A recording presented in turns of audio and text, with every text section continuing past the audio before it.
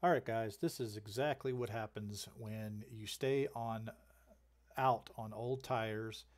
Uh, when you have about 36, 37 laps on your tires, uh, the 17 and the 5 decided to stay out. And uh, this is what happens uh, when you do something stupid like that and go get tires. Uh, the top three stayed out without no tire, or they didn't take any tires, so here, I'll just play this and I'll give some commentary on it.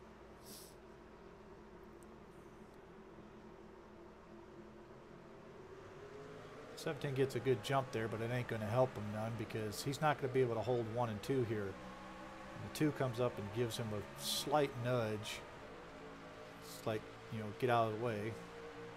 But both of them are trying to go flat out, and both all three of these trucks push up, way up the track which allows all the ones with four tires, which is the 1, the 10, the 3, and the 8, which is me, all to come around these guys because they can't hold the bottom.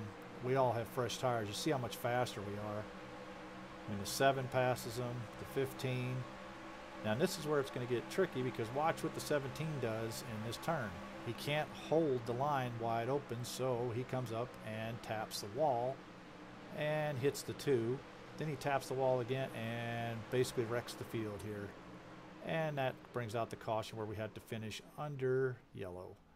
So this guy is a total moron.